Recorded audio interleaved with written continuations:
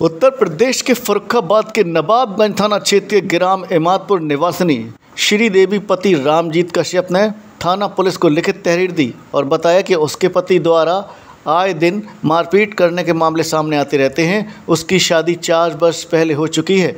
उसके एक पुत्र एक पुत्री है। पुत्र तीन वर्ष का और पुत्री आठ महीने की है।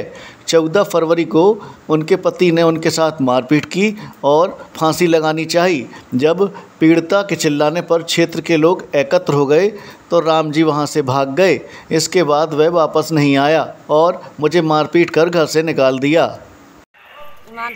अच्छा आज थाने आई हुई है नवाबगंज। क्या समस्या हो गई है? हमें मारो घर से निकाल दो मेरा बच्चा छीन ले दोनों कोई तेरी ज़रूरत नहीं है। किसने मारा आपको? रामजीत ने। रामजीत कौन है आपके? पति। पति ने मारा हाँ। आपको अच्छा बच्चे भी छीन लिए? बच्चे छीन ले साल भरे की बहना छह महीना की लड़की नहीं है। शादी हुए कितने साल हो गए? चौथी है। अच्छा किस बात को लेके वो मारते पीटते हैं? दारू पी के आई माते अंगूठी लड़ मांगती जाकर मैं अंगूठी लड़ देना है अपने बाप भैया बुला।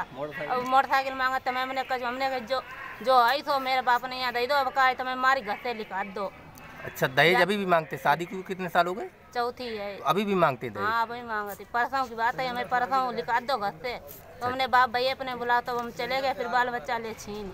अच्छा कितने बच्चे हैं आपके? तेरे तेरी ज़रूरत ना है बच्चे कितने हैं आप? दुई दो लड़का लड़की? लड़का लड़की नहीं है। अच्छा छोटा बच्चा कितने साल का अभी छः महीना को है। छः महीने का है। और वो लड़का तीन साल को ही को अच्छा तीन का